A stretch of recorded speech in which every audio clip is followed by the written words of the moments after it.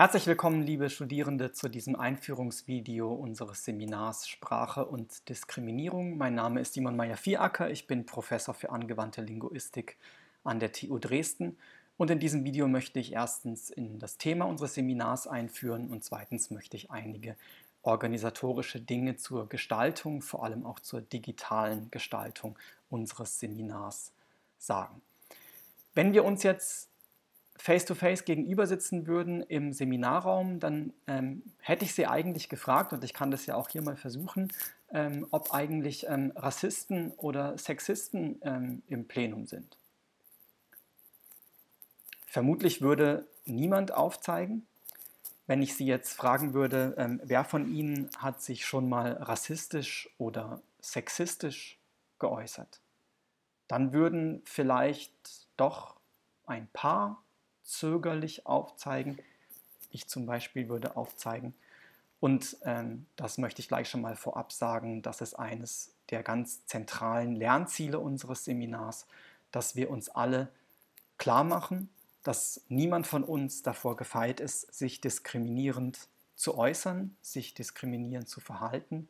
Ist, deswegen ist also die Beschäftigung mit dem Thema Sprache und Diskriminierung immer auch eine Arbeit an uns selbst Inwiefern und ähm, was man da genau tun kann, das möchte ich mit Ihnen in den nächsten Monaten gemeinsam besprechen. Um also erstmal in das Thema Sprache und Diskriminierung ein bisschen präziser einzuführen, möchte ich auf eine Quelle zurückgreifen, mit der ich besonders gerne arbeite. Und zwar handelt es sich um das digitale Wörterbuch der deutschen Sprache, eine Ressource, die Sie unter DWDS äh, selber aufrufen können. Ähm, das Ziel von DWDS finden Sie hier oben beschrieben. Es geht darum, den deutschen Wortschatz von 1600 bis heute zu dokumentieren. Dazu ähm, werden ähm, Wörterbücher ähm, erfasst. Ähm, vor allem aber werden große, große Textkorpora angelegt, die sich über diese Suchmaske hier sehr bequem ähm, recherchieren lassen. Wenn wir jetzt also hier einfach mal nach Diskriminierung suchen, dann finden wir zunächst mal hier diese Übersicht, so ein paar lexikografische Angaben ähm, zur Etymologie was und besonders interessant ist hier unten die Rubrik typische Verbindungen, das DBDS Wortprofil, wie es auch heißt. Ähm, wir finden hier ähm, in linguistischer Terminologie gesprochen Kollokationen, also Ausdrücke, die im Umfeld von Diskriminierung besonders häufig gebraucht werden. Ähm, hier einfach mal die Übersicht und wir können das Ganze über diesen Link auch noch nach grammatischen Informationen genauer aufsplitten. So sieht das dann aus. Ich wähle mal über, diese, über dieses Icon hier die Cloud-Ansicht, die ich noch ein bisschen übersichtlicher finde. Ähm, hier also nochmals die, der Überblick und dann finden wir zum Beispiel sowas ähm, wie Adjektivattribute. Es geht um ethnische Diskriminierung, rassische Diskriminierung, aber auch sowas hier ähm, von welchen Verben ist eigentlich das Substantiv Diskriminierung typischerweise ein Akkusativ- oder Dativobjekt, dann finden wir sowas wie, dass Diskriminierung angeprangert wird, dass sie beklagt wird, beseitigt wird, unterbunden wird, ähm, gemildert wird, aber auch geduldet wird.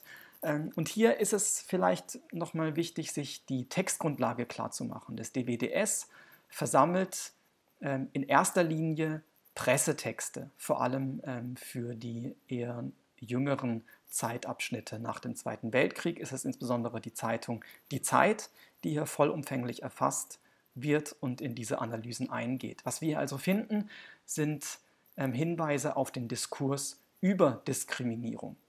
Wie wird also Diskriminierung thematisiert, explizit thematisiert? Es ist ja was ganz anderes, ob wir uns für Diskriminierung als Phänomen interessieren, zum Beispiel für Fälle von Rassismus oder für Fälle von ähm, Sexismus und so weiter, ähm, oder ob wir uns dafür interessieren, wie ähm, dieses Phänomen selber im Diskurs zum Gegenstand wird, wie also ausdrücklich darüber gesprochen wird. Und wir können also hier schon mal als ersten Befund festhalten, wenn Diskriminierung thematisch wird, dann häufig ähm, in so einem antidiskriminatorischen Kontext, wie wir das vielleicht mal nennen könnten. Wir finden dann auch hier, das finde ich interessant, ähm, Koordination mit. Ähm, wir können übrigens zu jedem ähm, Kollokat uns auch die Belege anzeigen lassen, einfach indem wir draufklicken. Dann finden wir hier solche Sachen ähm, Benachteiligung, auch Diskriminierung, Diskriminierung und Benachteiligungen und so weiter. Das Ganze auch immer chronologisch rückläufig sortiert, also mit den neuesten Belegen zu oberst. Wir finden dann eben die Zeit, den Tagesspiegel, aber auch Berliner Zeitung und so weiter. Ähm, und wir sehen also, was sind Dinge, die häufig zusammen mit Diskriminierung erwähnt werden. Fremdenfeindlichkeit, Intoleranz, Rassismus, ähm, Vorurteile, das sind alles Dinge, die uns im Verlauf des Seminars auch noch beschäftigen werden. Genitivattribut, also wer äh, wird eigentlich diskriminiert, Diskriminierung Homosexueller, Diskriminierung von Minderheiten. Hier sehen wir also im Überblick, wer ähm, im Pressediskurs der letzten 70 Jahre äh, typischerweise als die Betroffenen von Diskriminierungshandlungen erwähnt wurden. Wir können das Ganze auch nochmal äh, mit dem Verb machen, diskriminieren. Dann finden wir noch ein paar andere interessante Dinge, Adverbialbestimmungen zum Beispiel, ähm, ähm, ob man bewusst diskriminiert, ähm, ob das öffentlich passiert, pauschal, gezielt. Das sind alles Dinge, die ähm, eine Rolle spielen im Diskurs über Diskriminierung. Ähm, hier ähm, wiederum, wer wird diskriminiert und auch das hier die Koordination wieder äußerst interessant, wie ich finde. Was sind Verben, die zusammen mit dem Verb Diskriminierung verwendet werden in solchen Und-Konstruktionen? Ähm, hier finden wir privilegieren, aber auch stigmatisieren, unterdrücken, benachteiligen, ähm, ausgrenzen, anfeinden. Das sind vielleicht alles ganz gute Wege, um sich so ein bisschen das Bedeutungsspektrum von ähm, Diskriminieren ähm, zu vergegenwärtigen. Ich möchte noch ein weiteres Tool vorführen, welches wir auf DBDS implementiert finden. Wenn wir hier auf Wortstatistiken gehen, können wir Diacollo aufrufen. Denn in der Übersicht bisher haben wir ähm, alle Belege sozusagen en bloc ausgewertet und dabei nicht berücksichtigt, dass die ja aus unterschiedlichen Zeiten stammen können. Und wie sich solche Kollokationsprofile über die Zeit entwickeln, können wir uns über Diacollo ähm, anschauen. Ähm, jetzt funktioniert hier wieder irgendwas nicht. Diskriminierung. Eigentlich müsste ich jetzt hier ähm, ich muss nochmal zurückgehen. Statistische Auswertung. Jetzt haben wir hier die Zeit. Äh, nehmen wir nochmal Diskriminierung und rufen das auf. Dann finden wir jetzt hier ähm, so einen Zeitstrahl, in dem wir uns bewegen können und wir können das auch als Film mal abspielen lassen und achten Sie mal drauf, welche ähm, Begriffe hier jeweils aufscheinen und wie sich das vor allem verändert über die Zeit. Ne? Jetzt kommen die farbigen mit rein, dann geht es plötzlich um Frauen, dann um Minderheiten, schwarze Protest, Ausgrenzung, Unterdrückung und in der jüngsten Zeit geht es dann auch ähm, sehr viel um Diskriminierung von Homosexuellen. Ja, wir finden hier also sozusagen eine Konjunkturgeschichte ähm, von Diskriminierungen. Ähm, immer machen Sie sich nochmal klar durch die Brille des Diskurses über Diskriminierung. Also was wird jeweils thematisch? Man hat sich, ähm, wenn wir nochmal zurückgehen, ähm, in den 1980er ähm, Jahren, hier Ende der 70er, Anfang der 80er, ähm, vor allem ähm, im Pressediskurs für die Diskriminierung von Frauen interessiert. Ähm, und ähm, hier kommen dann andere Dinge mit rein. Hier geht es dann insgesamt um Minderheiten, Rassismus wird hier ein Thema und so weiter. Ähm, wir finden auch, gehen wir mal zurück, hier so ein Ausdruck wie farbige der ähm, heute so nicht mehr verwendet wird oder selber in dem Verdacht steht, ähm, rassistisch zu sein. Auch das sind interessante ähm, Befunde, die man hier aus dieser Übersicht ähm, rausziehen kann. Gut, ähm, ich empfehle Ihnen also allen, sich mit diesem Tool vertraut zu machen, es auch mal mit anderen Ausdrücken auszuprobieren, ähm, von denen Sie glauben, dass sie was mit dem Thema Sprach- und Diskriminierung zu tun haben könnten. Diskriminierung, was ist das eigentlich? Ähm, es gibt einen sehr berühmten Aufsatz von Graumann-Wintermantel, den wir auch besprechen werden in diesem Seminar, die ähm, diese Definition hier vorgelegt haben. Diskriminierung äh, definieren sie als die Ungleichbehandlung von Personen auf kategorialer Basis, also in der Regel ohne Berücksichtigung individueller Eigenschaften oder Verdienste, sodass Personen aufgrund ihrer tatsächlichen oder auch nur vermeintlichen Gruppen- oder Klassenzugehörigkeit unterschiedlich behandelt werden. Hier sind ein paar Dinge wichtig, die uns alle noch beschäftigen werden im Seminar.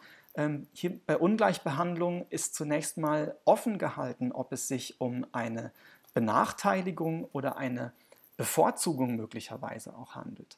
Ähm, es geht zunächst mal darum, dass Menschen ungleich behandelt werden, allein deswegen, weil sie einer Gruppe ähm, zugewiesen werden. Ob sie dieser Gruppe tatsächlich zugehören oder nicht, oder ob diese Gruppen überhaupt als solche ähm, eine verlässliche Größe sind, ähm, ist mehr oder weniger irrelevant. Menschen werden zusammengefasst, ähm, ohne dass man ihre ähm, individuellen Eigenschaften genügend berücksichtigen wird. Also es hat was mit Pauschalisierung zu tun, mit Konstruktion von Gruppen und Gruppenzugehörigkeiten. auf dieser Basis kommt es zu Ungleichbehandlungen.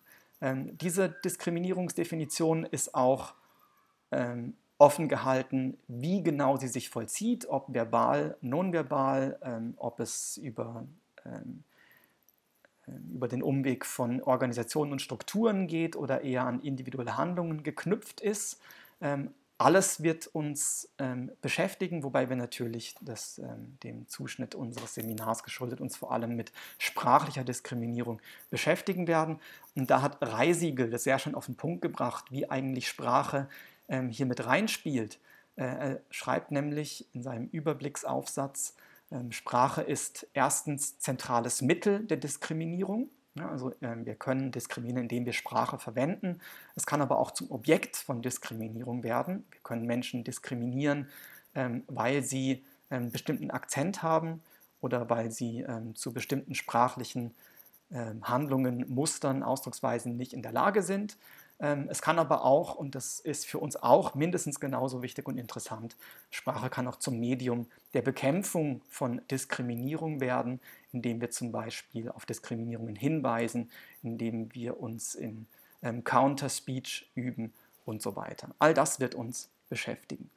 Ein paar Beispiele möchte ich gerne bringen. Wie äußert sich Diskriminierung? Welche Formen finden wir? Sie erinnern sich vielleicht an ähm, diesen Skandal hier um ähm, Sausan Chebli, ähm, die ist ähm, Staatssekretärin in Berlin ähm, damals gewesen. Ich weiß nicht, ob sie es heute noch ist. SPD-Politikerin jedenfalls. Ähm, und ähm, hier ähm, twittert Ali Utlu. mir geht es hier um das hier. Wie konnte sie jemals Staatssekretärin werden? sie ist ja in äh, die Kritik geraten, weil sie sich angeblich zu sehr mit Linksextremen solidarisiert hat. Ähm, und es geht um diese Antwort, die ähm, nur sehr kurz online war. Sie, ähm, Efgani Dönmetz hat diesen Tweet kurz darauf wieder gelöscht, aber das Internet vergisst ja nichts. Äh, über Screenshots ist es noch verfügbar und einsehbar. Er hat dann getwittert auf die als Antwort auf diese eigentlich eher rhetorische Frage, schau dir mal ihre Knie an, vielleicht findest du da eine Antwort. Ich möchte jetzt nicht erklären, wie diese Anspielung genau zu verstehen ist. Wir können festhalten, dass es zutiefst ähm, sexistisch und ähm, Sexismus ist eine der Diskriminierungsformen, die uns ganz ähm, zentral beschäftigen wird. Aber nicht immer ist ähm, solcher Sexismus so auffällig und auch so ähm, ordinär und so explizit wie hier, dass also Frauen insbesondere beruflich erfolgreiche Frauen ähm, auf so eine Art und Weise zum Sexualobjekt gemacht werden. Ähm, wir finden auch ein bisschen ähm, subtilere Fälle. Ähm, schauen wir uns mal die Textgrammatik des Deutschen an, eine berühmte Grammatik ähm, von Weinrich Thurmeier, die ich selber ähm, sehr schätze und oft benutze. Aber interessant sind die Beispielsätze, die wir finden. Es geht hier äh, in diesem Kapitel um das Phänomen der Redewiedergabe. alles, was hier ähm, veranschaulicht werden soll in diesen Beispielsätzen, ist es, dass ähm, hier diese Rede signalisierenden Teile ähm, an unterschiedlichen Stellen des ähm, direkten Zitats untergebracht werden können. Davor, in der Mitte und danach. Ähm, aber interessant ist, wenn wir uns anschauen, was diese Sätze eigentlich genau zum Inhalt haben. Ne, sie wiederholte immer die Worte, das ist doch nicht zu glauben, das ist doch nicht zu fassen. Noch nie, rief sie mir entgegen, ist mir so etwas passiert was ich bei diesem Computer, was habe ich bei diesem Computer nur falsch gemacht, dass ich den ganzen Text gelöscht habe, fragte sie mich verzweifelt. Ähm, hier ist also eine Person, die nicht mit Computern umgehen kann und darauf ähm, hysterisch reagiert. Ähm, und dass diese Person weiblich ist, ist eine von zwei Möglichkeiten oder von drei oder vier Möglichkeiten, je nachdem, wie viele Geschlechter Sie ansetzen wollen. Dass aber genau diese ähm, Variante herausgegriffen wird, ähm, dass so eine Szenerie aufgerufen wird, die das ähm, Stereotyp ähm, von technisch ähm, unbegabten und hysterischen Frauen bedient, dass ausgerechnet ähm, das als Beispiel äh, rangezogen wird, um sowas wie Redewiedergabe zu signalisieren, zeigt doch, wie tief verankert genau diese Stereotype sind dass sie so ohne genauer drüber nachzudenken, auch in so einem völlig sachfremden Kontext einfach so übernommen da reproduziert werden. Ein anderes Beispiel, was ich schon in der Einführungsvorlesung, falls Sie die gesehen haben, schon gezeigt habe, finden wir bei Damaris Nübling, eine Sprachhistorikerin, die ähm, aufzeigt die, ähm, den Bedeutungswandel von ähm, Anredeformen vom Mittelhochdeutschen zum Neuhochdeutschen. Ähm, Frau und Herr waren im Mittelhochdeutschen ähm, Anredeformen, die ähm, nein, Entschuldigung, hier geht es um ähm, das Reden über, ähm, über Personen, ne, also Geschlechtsbezeichnungen. Frau und Herr waren im Mittelhochdeutschen vorbehalten für sozial Hochstehende, sprich ähm, adlige Männer und Frauen.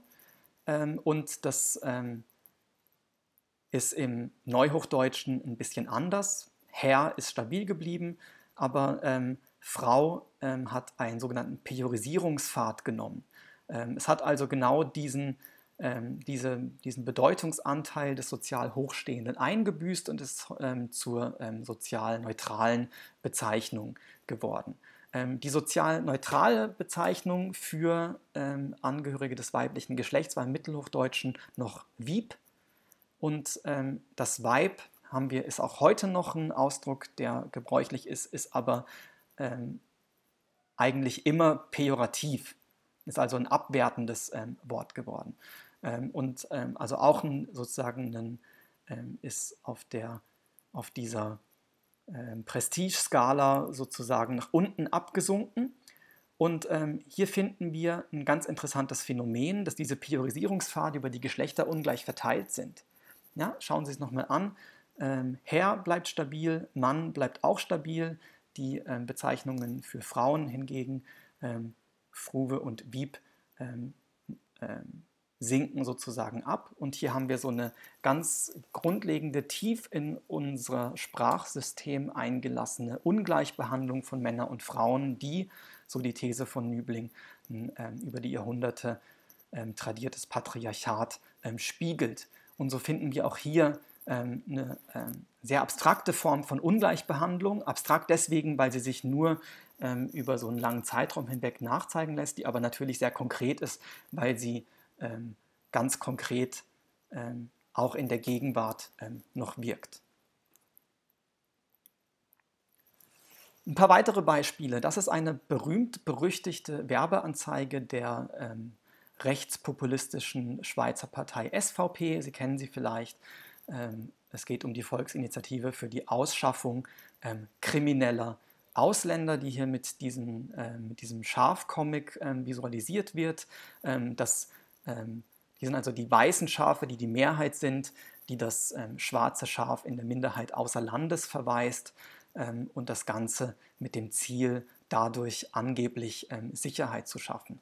Ähm, das ist eine ähm, rassistische, ähm, ausländerfeindliche Werbung und wir finden hier zum Beispiel das Stereotyp, dass Ausländer kriminell sind und zwar werden hier pauschalisierend Ausländer der Kriminalität bezichtigt und ähm, Ausschaffung von Ausländern wird als eine Aktion im Dienste nationaler Sicherheit ähm, stilisiert. Äh, also auch das sind sozusagen ähm, Formen des Rassismus und der Ausländerfeindlichkeit ähm, im, ähm, im Medium der politischen Werbung. Anderer Fall, Alexander Gauland, ähm, Chef der ähm, rechtspopulistischen bis rechtsextremen Partei ähm, AfD, hat in einem Interview mit der Frankfurter Allgemeinen Sonntagszeitung gesagt, Sie kennen das Zitat vielleicht, die Leute finden ihn als Fußballspieler gut, sie wollen einen Boateng aber nicht als Nachbarn haben. Das ist perfide von Gauland, weil er hier ähm, den Rassismus ähm, nicht ähm, also er gibt vor, ihn nicht selbst zu äußern, sondern gibt vor, es nur als eine allgemeine Stimmungslage sozusagen zu kolportieren. Ähm, aber ähm, der rassistische Unterton ist offenkundig. es wird behauptet, dass hier Boateng allein deswegen, weil er die Hautfarbe hat, die er hat, er von den Leuten ähm, abgelehnt wird. Ne? Also allein aufgrund seiner ähm, ethnischen Zugehörigkeit, wie Sie es auch nennen möchten, eben pauschal ähm, abgelehnt wird und nicht als ähm, gleichwertiger potenzieller Nachbar in Frage kommt. Ähm, die AfD ist insgesamt ähm, ein ganz wichtiger Diskriminierungsagent im öffentlichen Diskurs geworden. Sie kennen hier vielleicht solche Facebook-Sharepics, die sie immer posten. hier wird ähm, ein ähm, Bademeister dafür gelobt, dass er eine Burkini-Trägerin ähm, vor die Tür ähm, gesetzt hat. Und interessant sind bei Facebook natürlich insbesondere die Kommentarbereiche. Ähm, hier mal nur zwei ähm, Kommentare. Ähm, ich greife mal den unteren heraus. Dann wollen wir jetzt mal hoffen, dass dem Bademeister nicht bald stichhaltige Gegenargumente entgegengebracht werden, heißt es hier. Also dass ähm, zutiefst rassistische Stereotyp, ähm, ähm, Moslems äh, zur ähm, Gewalt neigen insgesamt, also ne, sich mit, ähm, hier soll ja darauf angespielt werden, dass sie ähm, mit Messerangriffen ähm, sich irgendwie wehren würden oder irgendwas in der Art. Hier wird also ganz pauschal ähm, ähm, Moslems unterstellt, kriminell und gewalttätig zu sein. Ähm, das sind also sehr explizite ähm, Formen. Ähm, eher unauffälligere Formen finden wir aber auch hier. ich habe mal geschaut, wenn Sie mal googeln nach Hautfarben, dann finden Sie zum Beispiel hier ein Pflasterprodukt, welches damit wirbt, dass es hautfarbene Pflaster vergibt. das dass dieses Pflaster hautfarben ist, mag auf viele Menschen zutreffen, aber eben nur auf aber längst nicht auf alle und ähm, auf die ganze Weltbevölkerung gesehen, vielleicht sogar auf die Minderheit. Ähm, interessant oder das Wichtige hier ist, dass hier ähm, unter der Hand ähm, eine ganz bestimmte ähm, Hautfarbe zum unausgesprochenen Standard ähm, erhoben wird. Äh, und das ist ausgrenzend für alle, die nicht ähm, genau diesen Standards entsprechen. Das ist also eine eher unterschwelligere Form der Diskriminierung. Wenn wir es nochmals mit Reisiegel zusammenfassen wollen, was also Sprache leistet, was die Funktionen von Sprache sind im ähm, großen Feld der Diskriminierung, können wir das so formulieren. Sprache, so schreibt er, bereitet die Identifikation, die begriffliche Konstruktion, Imagination und Absonderung bestimmter Menschengruppen vor. Sprache wird gebraucht, um zu bestimmten Menschengruppen sozial auf Distanz zu gehen, um Unterschiede zwischen Menschengruppen zu suggerieren oder aufzubauschen, um negative Bewertungen direkt oder indirekt, explizit oder implizit zu verbalisieren, um eine Ungleichbehandlung mehr oder weniger trugschüssig zu rechtfertigen, um Vorurteile zu verbreiten und Stereotype zuzuschreiben, um Diskriminierungshandlungen performativ zu vollziehen und so weiter. Sie sehen also eine ganze Fülle von Aspekten, wie Sprache und Diskriminierung zusammenhängen können. Mit all diesen Aspekten wollen wir uns beschaffen, äh, befassen. Ganz wichtig, der Beginn. Ähm, zunächst mal geht es darum, dass Sprache kategorisiert, dass ähm, Gruppen konstruiert werden können, allein dadurch, dass wir bestimmte Bezeichnungen wählen. Wir sprechen von den Ausländern, wir sprechen von den Muslimen oder nehmen Sie auch ähm, abwertende Begriffe. Wir sprechen von, nicht wir, aber es wird gesprochen von den Kanaken zum Beispiel und so weiter und so fort. Und dadurch wird allein durch so eine Kategorisierung zunächst mal eine Gruppe konstruiert und der können dann negative Bewertungen zugeschrieben werden. Sie können ausgegrenzt werden. Ähm, es können Stereotype verbalisiert werden und so weiter. Wir möchten uns also in diesem Seminar auf dieser Grundlage genauer mit folgenden Fragen beschäftigen. Wie äußert sich eigentlich Diskriminierung in der Sprache und im Sprechen? Ich habe das hier mal getrennt aufgeführt in der Sprache.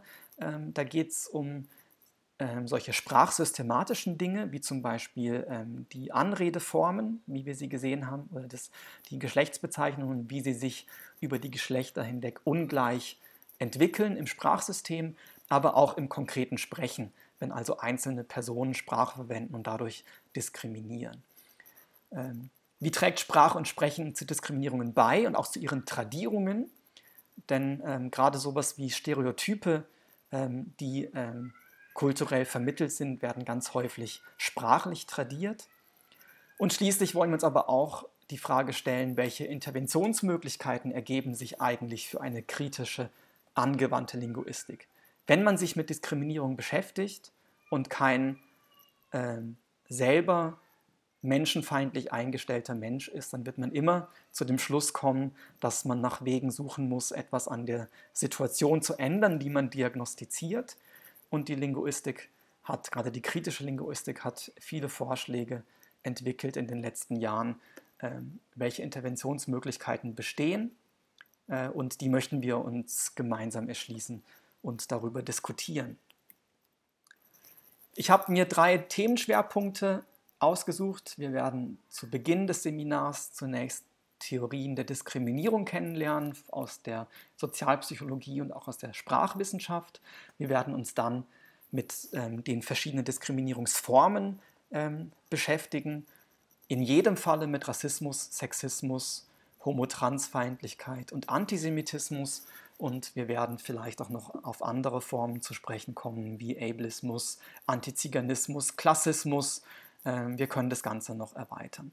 Und wir werden uns aber immer auch beschäftigen mit Interventionsmöglichkeiten. Zwei Themen habe ich mir rausgesucht. Gendergerechte Sprache als eine Interventionsmöglichkeit gegen Sexismus ähm, und Political Correctness, ähm, eine insgesamt antidiskriminatorisch orientierte Sprachintervention, die vielfach vor allem ähm, von, also die Rede von Political Correctness ist ursprünglich vor allem im rechten Diskurs zu finden, als so eine Art Gegenstrategie, aber in jüngerer Zeit mehren sich auch die Versuche, ähm, tatsächlich affirmativ von politischer Korrektheit zu sprechen. Dazu werden wir das tolle Buch von Anatol Stefanovic lesen. Ich möchte ein paar allgemeine Literaturhinweise geben. Auf Opal finden Sie hinterlegt das Handbuch Diskriminierung von Scher, Elmar Falani und Yüksel herausgegeben. Ähm, sie sind alle aufgefordert, ähm, sich breit zu informieren in diesem Handbuch. Ähm, hier werden die einzelnen Diskriminierungsformen in Überblicksartikeln vorgestellt, aber auch die einzelnen disziplinären Zugänge. Der Artikel von Reisiegel, den ich erwähnt habe, ist zum Beispiel diesem Handbuch entnommen. Und außerdem habe ich auf Opal eine Linkliste ähm, angelegt, die wird erweitert. Ähm, hier finden Sie ähm, Links zu Internetressourcen, die ich empfehlen möchte. Ähm, hier sind zum Beispiel zwei ähm, Broschüren, die sich einmal mit Hate Speech und einmal mit Homophobie oder Homofeindlichkeit beschäftigen, die populärwissenschaftlich gehalten sind oder sagen wir eher für ein breiteres Publikum zugänglich sein sollen. Und ähm, wir finden auch den Link zu dem Blog von Joachim Charlotte mit vielen nützlichen Hintergrundartikeln zum Thema Hassrede und Hate Speech. Das wird, wie gesagt, noch laufend erweitert und wenn Sie ähm, Ressourcen auftun, von denen Sie meinen, die sollten alle was angehen, ähm, schreiben Sie mir eine Mail, dann nehme ich den Link hier gerne noch auf. Dann möchte ich noch vorstellen ein Schreibprojekt, was ich mit Ihnen starten möchte im Verlauf dieses Seminars. Ähm, auf Opal gibt es die Möglichkeit, ein Wiki anzulegen. Das habe ich gemacht und in diesem Wiki möchten wir gemeinsam Einträge erstellen zu zentralen Begriffen der Diskriminierungsforschung und zwar aus einer spezifisch ähm, linguistischen Sicht.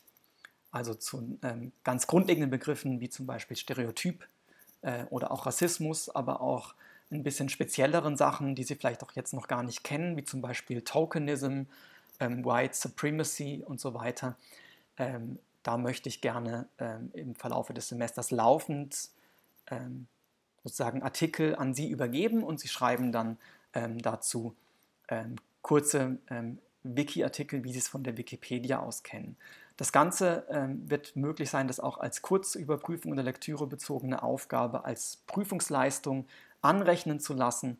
Details dazu gibt es dann später noch auf anderem Wege. Dann möchte ich noch darauf hinweisen, dass wir am 17. Juni einen Gast haben werden. Ähm, die ähm, freie Autorin ähm, Sibel Schick ähm, wird bei uns in Dresden zu Gast sein. Ähm, Frau Schick ähm, ist Kolumnistin, Autorin, hat dieses wunderbare Buch geschrieben, Deutschland schaffe ich ab, im Subkultur Verlag erschienen. Ich halte es nochmal hier in die Kamera. Es kostet schlappe 2 Euro und Sie sind alle aufgefordert und eingeladen, sich dieses Buch zu beschaffen. Wir werden das Buch ähm, vorher lesen und Frau Schick wird kommen und wird ähm, aus diesem oder auch aus anderen Texten lesen und mit uns über dieses Buch ähm, und insgesamt ihre ähm, Aktivitäten diskutieren. Ähm, Sie können sich über Sibel Schick informieren auf sibelschick.net und ich empfehle Ihnen auch, ähm, ihr auf Twitter ähm, und vielleicht auch Instagram zu folgen. Das Ganze ist natürlich unter dem Vorbehalt, dass wir wieder in der Präsenzlehre sein werden. Sie sehen auch hier Mittwoch ähm, das ist ja nicht unser Seminartermin, sondern es wird eine Abendveranstaltung sein um 18 Uhr. Ähm, es wird sich jetzt in den nächsten Wochen herausstellen, ob sich das wirklich realisieren lässt, aber das ist zumindest der Plan. Aber selbst wenn es nicht dazu kommen sollte, dass Frau Schick persönlich bei uns zu Gast sein kann, ähm, werden wir uns mit diesem Buch und mit ihren Aktivitäten in den sozialen Medien beschäftigen. Das wäre es von meiner Seite. Ähm, ich danke Ihnen herzlich und bis bald.